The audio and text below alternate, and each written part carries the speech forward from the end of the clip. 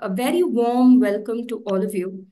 Today, um, we will explore ways to maximize preparation and support for the adoption and adjustment to the changes, to the revolutionary changes brought about by emerging AI technologies, while uh, you know exploring ways to minimize the threats resulting from the resistance that we usually have to new technologies and our latent incapacity at times to seize those opportunities. So we have a very exciting panel lined up for you. First, let me introduce myself. I am Ranjani Ravi, Associate Editor of Cadmus Journal, a transdisciplinary journal of the World Academy of Art and Science. Cadmus is dedicated to fresh thinking and new perspectives that integrate knowledge from all fields of science, art, humanities to address real life challenges, you know, and issues, inform policy and decision making, and uh, enhance our collective response to global challenges and opportunities. I am also an associate fellow of the World Academy of Art and Science and senior research analyst at the Mothers Service Society, an educational research institute based in Pondicherry, India. So um, when WAAS was founded in 1960, it began as this agency for human welfare. And the tradition still continues to this day. The WAAS project, Human Security for All, is a unifying theme, an all comprehensive, integrated approach what we call an umbrella term that encompasses all aspects of human and societal well-being. The project stresses the importance of addressing societal implications of emerging technologies as well, such as AI. So artificial intelligence, we believe, has the potential to be this transformative force in the realm of human security and achieving the SDGs on time. This panel will move towards a narrow view of AI as a standalone technology. Instead, we will explore its multifaceted role within a holistic approach centered on human well-being. So let me introduce our distinguished panelists now. Dr. Liang-Jie Zhang is a pioneering AI and digital transformation expert. He's distinguished professor at the College of Computer Science and Software Engineering and the director of the Center for AI Services Computing at Shenzhen University, China. He's an IEEE fellow with extensive industry experience, having served as Chief Technology Officer at Kingdee International Software Group, listed on the Hong Kong Stock Exchange and Chief Architect of Industrial Standards at IBM. As for Stacey Lawson, she is the vice chairman of Ygrene Energy Fund, an innovative clean energy finance company which was deployed, uh, which has deployed over $2 billion in renewable energy, energy efficiency, and climate resiliency projects. Prior to leading Y Green, Stacey was a candidate for US Congress in California's 2nd Congressional District, where she advocated for critical economic, environmental, and societal initiatives. She is a change maker and a conscious leader. Her most recent passion project, the Human Evolution Project, aims to bridge ancient science with modern technology to foster a transformative community dedicated to the upliftment of humanity. Annika Rao or Annika Rao Monari is a youth leader, an AI and blockchain entrepreneur, the founder of Clee AI, an AI research tool that understands the human context to deliver instant, highly accurate, and fully trustworthy responses. A former physicist, Annika has been recognized by Forbes as one of the 30 under 30 notable young people who can make a difference in the world. So I would request our panelists here to be fairly brief so we can keep the momentum going. Thank you and let us begin. Um, let me address the first question to Dr. Zhang here. So given your extensive experience in both academia and industry, what do you see as the most significant barrier to the widespread adoption of AI technologies, specifically in AI, uh, you know, educational institutions, and how can we overcome them? Dr. Zhang, please. Yeah, thank you very much for uh, you know the introduction. So I'm quickly share with you uh, uh, how AI shapes the future of education and research. Uh, good morning, uh, good afternoon, evening, everyone. Uh, it's a privilege to be here today to discuss the impact of AI on education and research. As we stand on the brink of major technological in, uh, advancement, AI's integration into education and research is very, very important. Today, I will explore how AI is enhancing traditional methods and paving the, uh, the way for new approaches.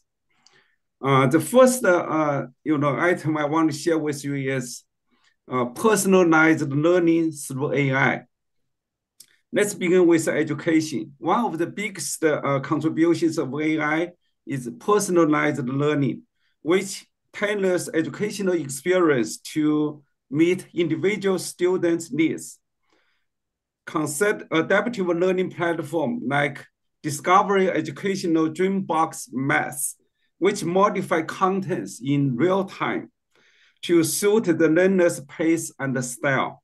This AI-driven approach ensures that no student is left behind, adapting to changes such as learning difficulties or fast learners.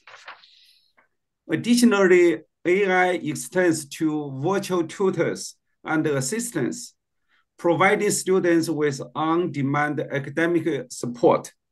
Tools like ChatGPT offer hands-on experience, learning experience that was, you know, very important in classroom. For instance, I have used ChatGPT to add more supporting materials for my course, computer ethics, and prepare multiple choice exams for in-class use. ChatGPT provides instant feedback and explanations, making learning more interactive and personalized. So these examples show how AI supports and enhances personalized learning. The second item I want to share with you is AI in academic research. Moving into the research, AI is changing how we gather, analyze, and understand uh, vast amounts of data in fields like uh, uh, the mathematics, gen uh, genomics, AI algorithms can process huge data sets to find patterns that would take human eyes to analyze, you know, for years. This capability is crucial for breakthrough like personalized medicine. For example, AI's ability uh, to model complex systems have transformed scientific exper experiments. For example, uh, climate scientists using AI to predict weather patterns, weather patterns, and model climate change with greater accuracy than ever before. Like tools, uh, for example, ChatGPT can assist researchers by quickly summarizing large amounts of scientific literature, like papers. So we can easily to use ChatGPT to identify key research trends and generating some new ideas. When I extended, you know, the computing technologies from personalized uh, personal computers to cloud computing, all the pricing models, ecosystems, and ethics uh, have changed. So I used ChatGPT to introduce the latest cloud computing technologies and the ethical considerations into my uh, students. So additionally, during the, my research, I use AI to detect fake contents in AI generated content, AIGC. So you can say we can use lots of large language models with expertise in uh, deepfake detection. So AI can be really used to enhance our research experience. The last point I want to make is, uh, you know, the, we can use AI to pioneer new academic frontiers. AI is not just is, is not just enhancing existing practices, it's pioneering entirely new frontiers in academia. So like lots of cross-discipline research, especially in the intersection of AI and other disciplines, we can use AI to provide insights into how human cognitions and the learning process can be used to model the AI ecosystem and also to help us, uh, you know, uh, to uh, uh discover uh, what's the, you know, major components of AI system in the future. So AI-powered tools like ChatGPT can really uh, facilitate uh, those innovations by providing real-time data analytics and enhancing collaborative research efforts. So those, uh, those initiatives are just the beginning of, uh, you know, using AI to explore new research directions. So to recap, AI enhances personalized learning, empowers researchers and scientists to handle complex data, to pioneer new academic uh, research directions. So I urge all stakeholders in education and research to embrace the, these AI-driven innovations. The future is here, and it is filled with endless possibilities. Thank you uh, for your in, uh, attention. I look forward to seeing how each of you will continue to this exciting innovation. Thank you. Thank you so much for your insights. We'll come back to you in a bit. So I'm moving over to Stacey now. So given the rapid advancement of AI and its integration into daily life, we need an AI, I think. It's not just me, it's the entire world that incorporates values from wisdom literature, including religious, spiritual, philosophical texts. Is such a wisdom AI being built? Why do you think it matters, especially for youth? Hmm. Well, first, let me thank you for being on the panel. I appreciate the opportunity to join you for this important conversation. And the the sort of the lens I'm looking through is is one um, that's related to the Benevolent AI Coalition that I recently co-founded. That's focusing on largely on wisdom AI, as you mentioned, bringing together builders and funders to both look at how we how we use AI to elevate human consciousness, but also how we can envision, design, and build more conscious and wise AI. Um, so, first, let me sort of address your question of, um, you know, is this being built? Why is it important? Um, I would say if we just go back to first principles, right, the ultimate goal of artificial intelligence I would argue, is to develop technology that serves humanity, right? That that in all cases improves our capacity to perform, to create, to innovate, to flourish. And yet, if you know, I think we would all agree that intelligence alone, like just simply our cognitive abilities to reason and problem solve, right, does not and has not guaranteed the well-being of either individuals or societies. It's a necessary but not sufficient condition right? It is not intelligence but rather wisdom that is associated with things like greater well-being thriving happiness um, health even even the longevity of the species right? And so the target for our technology need really be artificial wisdom or you know wisdom ai instead of just artificial intelligence. And i think that wisdom can also serve to mitigate the risks of agi and super ai um, so then the question becomes what is wisdom and how do we build it into ai And really, it's it's interesting that, of course, wisdom has been addressed in our religious and philosophical context for millennia. But in terms of like the Western scientific model of studying wisdom, it's really only been the last 50 years or so, um, starting kind of in the 1970s, where we started looking at the components of wisdom. And that that sort of helps us understand what might be built into AI. So there's not one single definition of wisdom, but I wanted to share some of the pieces that it includes. Um, so things like pro-social attitudes and behaviors. So things like empathy and compassion and lo- loving kindness, um, altruism, things like moral reasoning, um, emotional regulation, which you know does that apply to AI or not? Right? Diversity of perspective. So this ability to value relativism and um, tolerate a plurality of of ideas and viewpoints. Things like ethical decision making, dealing with uncertainty, like you know, weighing and balancing decisiveness with ambiguity. How how do we act in in that regard? Um, capacity capacity for self reflection, for self understanding.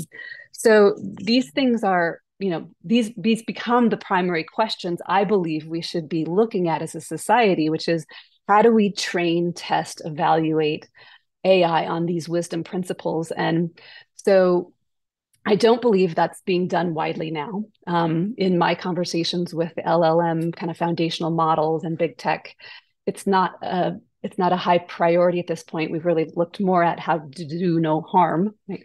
And so the benevolent AI coalition is basically convening individuals from those industry perspectives to come together to develop open source uh, frameworks, data sets, training, and evals that can be offered, you know, in a as industry resources into the collective field, into the commons, so to speak, that provide these resources for LLM training on Wisdom AI, so that we can we can start to build um, models that actually incorporate more of that best practice of collective human wisdom.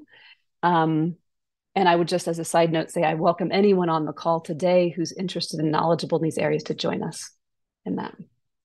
Um, that's wonderful. You've given us a lot of, um, you know, you've made us question the fundamentals of how the whole thing works. And um, I'll, I'll get back to you soon, uh, Stacey, with, with another question that has been running behind my mind. So anyway, um, Annika, um, given the impressive advancements in AI-powered search engines, where do you see the limitations of current search paradigms? So how can AI search engines leverage their unique capacities to address these shortcomings and fundamentally transform the way users interact with information discovery? Thanks. Um, thanks also for having me. Um, I really wanted to say, uh, Stacey, it's very interesting um, what you're what you're talking about. Um, in, in, fact, um, we are um, busy looking at different models for how do you go from a kind of supervised learning model um, to a more kind of self-learning conscious model with all of these different layers that reflect how experience affects wisdom, which then affects um, you know, some core instincts that you might have as a as a human, and then kind of, you know, um, spits it all back out again, and you know, starts defining this model. Um, so it's it's really interesting that you're doing that. I'd love to be um, a part of um, part of what you're doing. Um, so I just wanted to say that first. Um, it does uh, tie back. Um, thank you very much for the question. It um, it's interesting. My answer does actually tie back to what both um, uh, uh, Stacey um, um, and uh, I. I think essentially um, the way that search engines today uh, classify and um, evaluate the kind of quality of information is overweighted towards syntactic as such like structural kind of um, attributes of the information. In other words, um, if you're looking at the how well structured a web page is, whether they're using different tags and things like this, um, you know, uh, if they have information that's kind of put together in a particular way, um, you know, often that actually requires a lot of funding to do right, and it requires you working with the right people to do right, um, and it doesn't account for the kind of semantic quality of the information that's being uh, put forward.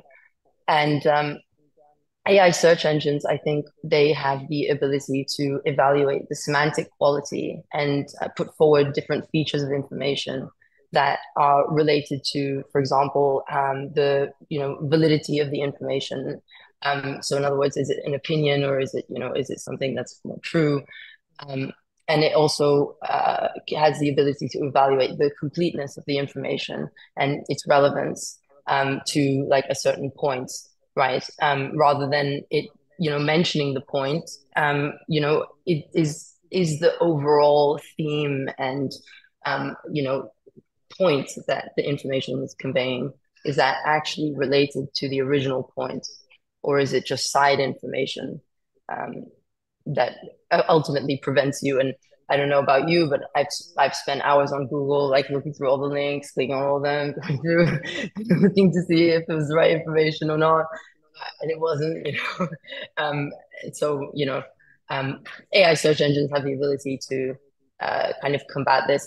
I also think, based on what Stacey is saying, they have an ability to also evaluate different features to do with things like emotional um, information about, um, you know, maybe the opinion that someone's writing or, you know, yeah, uh, like the prediction of, of some events. So there's a lot of interesting things that you can do. And, uh, you know, hopefully you will not have to scroll through 10 pages of Google to get your answer. Um, so hopefully that answers your question. um, uh, I, I like your honesty, Annika. And I,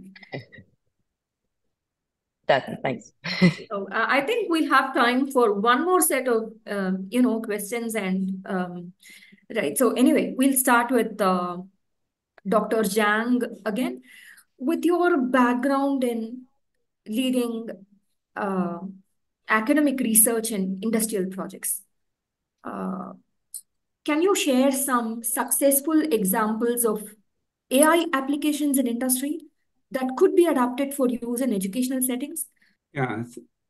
Okay. Thank you, um.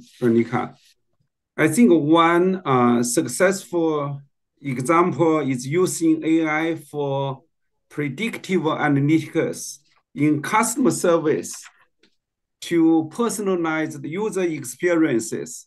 Because in the customer customer support, we need uh, um, AI assistant to help, uh, you know, take some questions and answer automatically. So this kind of uh, AI solutions can be adapted in education to predict student performance and provide personalized learning pathways.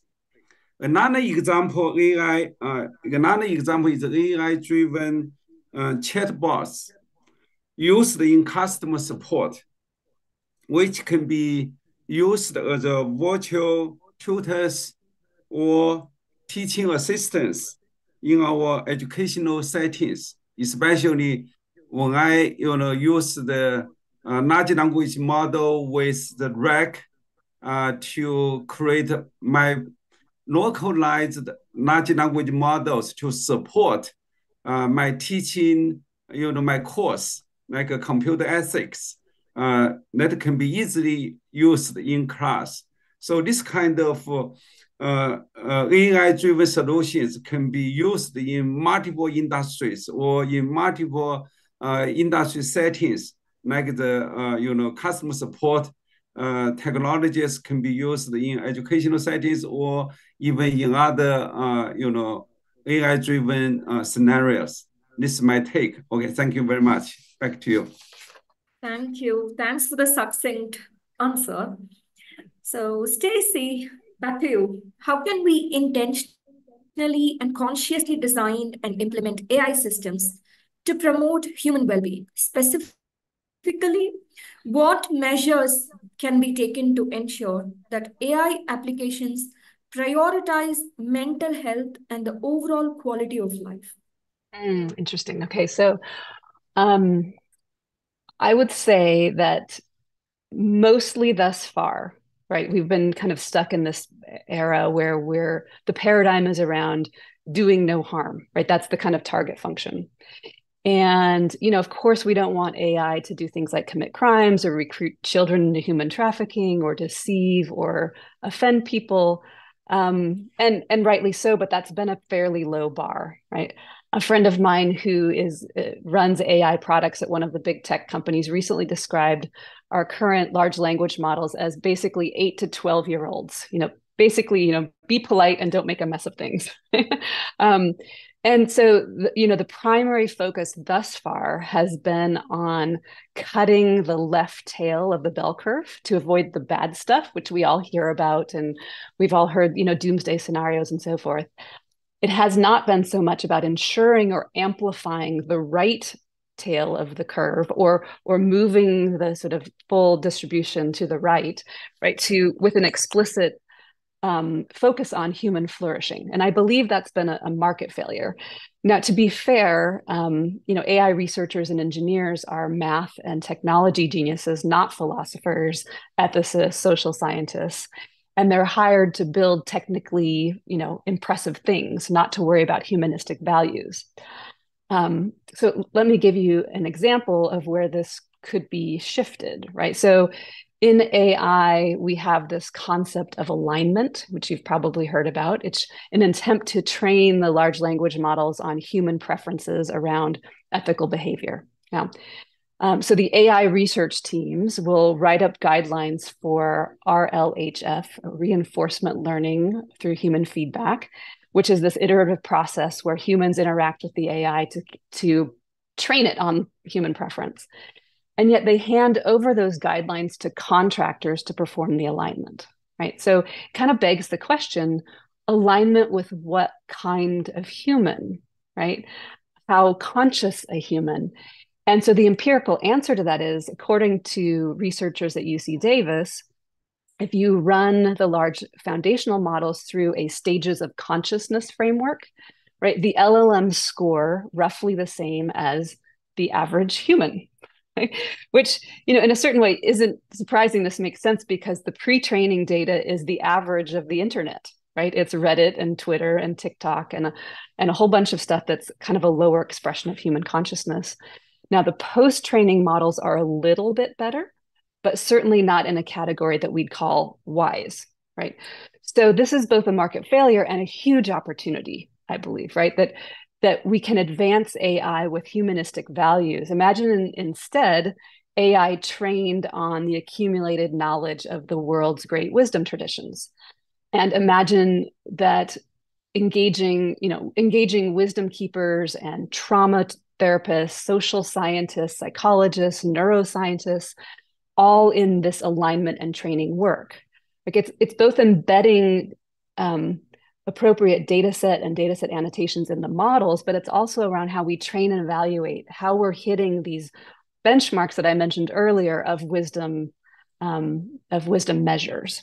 And I would say I would close with this that I think for the next one to three years, as the industry focuses mostly on individual human level agents, so not AGI or super AI, that this miss on the wisdom front is an unfortunate miss, but not like an enormous problem.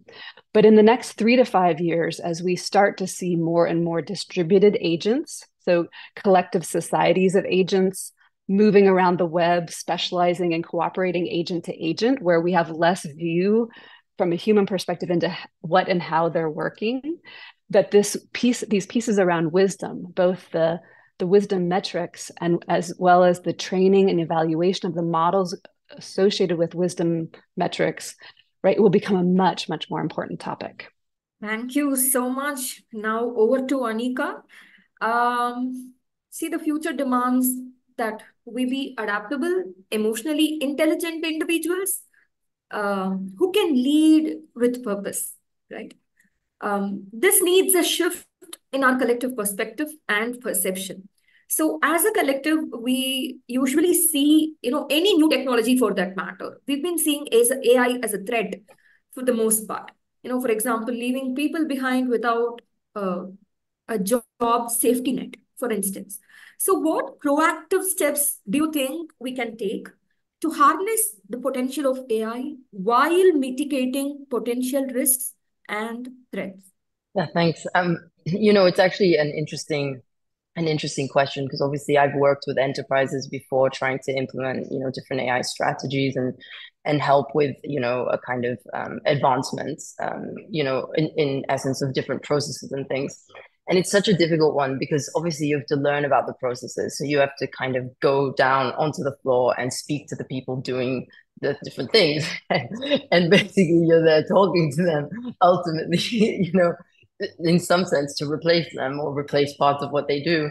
Uh, and you know they kind of know that and you kind of know that and it's this unspoken sort of awkward thing in the middle um, and um, and you know I think that that's really one of the one of the problems um, that you know it's like um, um, you know under under development you know like people's skills obviously have to change and adapt um, as certain you know processes kind of um, come to fruition with an AI replacing it or or what have you. Um, but I actually think there's a different opportunity, um, you know, with AI um, to to kind of help um, humans without replacing them, but actually empowering them. I was I was thinking a lot, looking at all the elections and things going on, and you know, the topics that are covered for the most part are very unrelatable to the regular human. Um, certainly myself, you know, it's, it's talking about certain like you know um, social policies and and economic policies that you know are, are quite technical and I don't I don't understand fully how it affects my daily life as a normal person. And that's kind of a problem because then you have these politicians who use fear mongering tactics and you know regular kind of human kind of sort of you know i mean ultimately marketing tactics to kind of get to to people right? And and and con- convince them essentially of what they should be voting for. But you know like actually it's not really that fair because the other politicians are you know they actually are saying very good things and very reasonable um, things that actually would really affect people's lives in a positive way but people don't really understand that and I think uh, AI could be a really nice bridge um, between a lot of the kind of more esoteric information that people speak about um, and um, and you know the more regular person and kind of bridging um, you know the the as Stacey's talking about the, the kind of wisdom um, really it, it can if you if you get it right it can kind of bridge the gap between why should I care and how will this affect me on a day-to-day basis and you know, this is the scientific, rigorous, um, you know, well-defined economic or social policy and the budget distribution um, that we've chosen to do, right? And and you know, th- then you you kind of have a nice um, you empower a lot of people who may not have the education or the means or the interest really um, in in you know voting or understanding those things but at the end of the day they care about what happens in their daily lives. So I, would say for me, that's that's one of the biggest um, uh, benefits. You won't have, you know, I probably shouldn't say so on here, but you know, situations that would are not really ideal. Um, yeah, that's that's it for me. Thank you so much. Thank you, Annika. So we will have some time for you know uh, expressing your conclusion or you know some any remark that you think will add will some you know some extra richness to this discussion. So we'll start with you dr Zhang. Any concluding remarks to enrich this already rich discussion? Okay. Yeah i think this is a, a great discussion. Uh, i really want to emphasize one uh, item i think is uh, very important. Including ai ethics in school curriculums is very important for you know uh, a few reasons. Number one is the safety, because your AI can do a lot of things, but it can also you know create problems. So learning about AI ethics can really help students uh, use it safely and response, you know, responsibly. Uh, the second item I want to mention is uh, equality. AI affects people and society. Understanding the impacts help create systems that are fair and inclusive for everyone. So AI capability should be, you know, be used by everyone, not just, you know, used by a set of uh, people. Number three is laws. Many places have rules about using AI right now. So knowing uh, this kind of rules can help students follow them in you know the future jobs or even the, in the projects. Uh, the last one is the values, because uh, learning AI ethics can really help student, students think uh, you know, critically about the uh, what's right and what's wrong making better choices when you know creating AI-related technologies.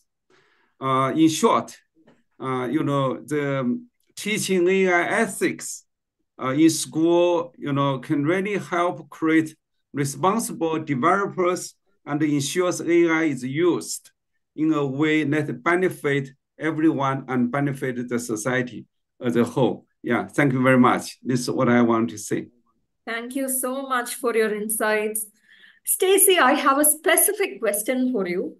Um, you know, in light of the conclusion that you will make, um, since you were talking about humanistic psychology, how do you think AI can help us become? Uh, I know it's it's it's a vague question. It's it's too general, but how can it help us become individualized or you know aid in this process of individuation or self actualization? What do you think is the role of AI in that process? Mm, yeah, that is a big question. Um, yeah, maybe I'll answer it um, in kind of a pragmatic way, actually, because you've mentioned youth um, several times, and you know, Dr. Zhang's talked about education, and Annika these issues around how do we, how do we sort of maintain our agency and educate ourselves. So so this this kind of leads to this question of how does how do we interact with ai to make us more con to help us evolve become more conscious self-actualized as you say. Um, and it's it's it, it of course not all of us have direct influence over how ai is being built but we all have direct control over how we engage with ai and so I would offer maybe a couple of suggestions in that realm to sort of maximize our sort of hopefully benevolent self actualization curve. Right. So the first, and these are pretty pragmatic, but the first is to really engage now. So start becoming an expert with the tools. I would suggest that young people and all of us get access to all the public LLMs, ChatGPT, Claude, Gemini, whatever you can, and to use them on a daily basis because you know, so to give them each the same prompt and see how they respond, see what each is good at, persist in perfecting your prompts and learning how to best kind of elicit from AI what you care about. Learn how to use them to become an enhanced human, right? Um, and explore other AI applications and tools that are relevant alongside your work, your schoolwork, your hobbies, I think this experience will be highly valuable as things get more complex with distributed agents, right? That we will actually increasingly become managers of these teams of agents. And so, what are your management skills? Like, we'll all have AI assistants and tutors and helper experts and consultants. And it'll be really helpful to get comfort now with the individual agents, right? As we transition into managing teams of distributive agents, just so that we feel a comfort level in how to use AI for our for our highest benefit and flourishing. Okay, the second suggestion would be around um, valuing your attention and agency. Right, you can't be self-actualized if you give your agency away, and if you give your attention away unconsciously. And as we all know, technology is influencing us all the time, and we see that you know with social media some of the precursors to what we'll see more intensely with AI. Right, so it's it's not just that AI isn't yet particularly wise, right? It's also often performing what my friend Dr. Julia Mossbridge calls the cognitive heist, right? We all need to stay alert to the downsides of things like deadening our perception and relinquishing our agency and learned helplessness, right? I mean, as an example, people used to knew, know where they were in relation to things, but then with mapping software, you can just go on Google Maps and you never really have to know where you are or how you got there, right? It's a small thing, but these kinds of issues can amplify with AI. So good the good news is simultaneously right consumer level wisdom ai applications will come to the, on the scene. There'll be access to therapists and coaches and wisdom guides and self reflection tools. And you know most people will likely have a companion robot you know in the future with wise agents that can be designed for things like you're mentioning mental health support and creativity and human connection and evolution so for young people and again all of us I, I would probably share what my sister-in-law says to my niece and nephew when they leave the house which is make good choices you know choose very wisely what apps you consume. Uh, and then third i would say that intention really does matter. So you know our the way we approach ai may end up being one of the most important things as it relates to our our experience of the ability to self-actualize using ai tools right? There have been a number of early experiments suggesting that our intention and therefore also the prompts we write and how we write them right make a difference in the experience with we have that we have with ai and its responses.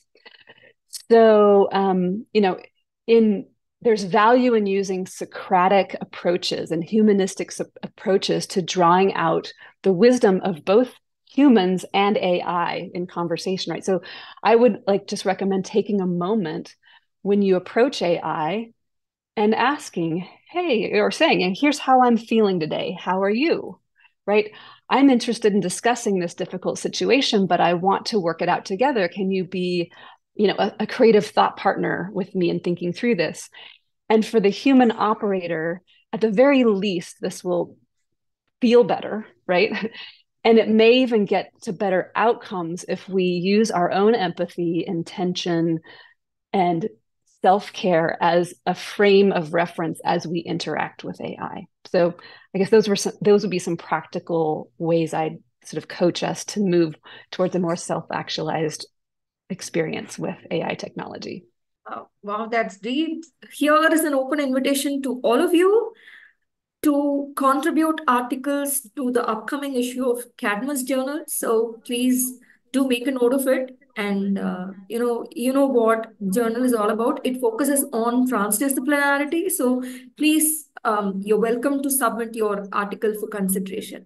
Thank you so much. And um, Annika, so, um, as for your concluding remark, I, I think I would like you to focus more on since you are a youth leader, how can AI as a tool amplify the voices of youth leaders and uh, you know prepare them to be active participants in shaping the future? What do you think? Yeah, you know, one of the things that that I think about a lot is um, I, I, said this on the last panel I was on, and I, will say it again. Ninety-seven percent of the world's data is locked up. Um, uh, you know, it's the data. AIs require data in order to get smarter and um, you know understand more things um, and understand relationships between things. Um, but today because we've come from a past uh, history where you know data wasn't that important. It's kind of locked up in paper. It's you know locked up on random devices. Um, it's not connected. It wasn't important. Um, it's very difficult to kind of go back in time and, and change that. But we as as a youth we have an opportunity to change that um, we have an opportunity to actually keep data that's structured um, to you know make sure it's connected together it's accessible by ai um, it's it's usable. And um, we have the opportunity to unlock tons of uh, value um, with ai that you know today we actually can't really unlock uh, because we don't have the ability to access um, the information that's required in order to create less less bias and you know less sort of uh, what I like to call propaganda. Um, we have a nice opportunity to look at wisdom or, or like Dr. Zhang says, um, education. Um, it's, it's super important um, to be able to unbiasedly give, well, I mean, it's hard to say unbiasedly because everything's a little bit biased, but you know, at least being able to share all of the different perspectives um, so that someone can, you know, interpret it them, themselves um, how they want. Um, yeah, I think that's super important. And we as a youth, it's our responsibility to build the pickaxe and shovel of the AI rush, which is data. Um, we need to build and and provide the data that the AI needs in order to flourish. So I would say that's my my big kind of uh, point to youth. Really, it's like let's not make the same mistake as our predecessors, and let's um, you know try and build a future where governments run on more technology. Um, you know, AI is seen more as a tool um, that's a bit different than a human anyway, um, but that adds value. And um, yeah, some other things like you know more fair voting, more understanding that things are biased, etc. We can only do that with data. So that's my thought. Thank you, Annika. So um, as we conclude this session, I want to emphasize that, you know, again, that the conversation doesn't stop here. We've barely scratched the surface. So to truly maintain this momentum and take things forward, we must continuously engage and co-create. And so thank you once again, all of you, for your participation. And I really look forward to your continuous, continuous engagement. Thank you so much.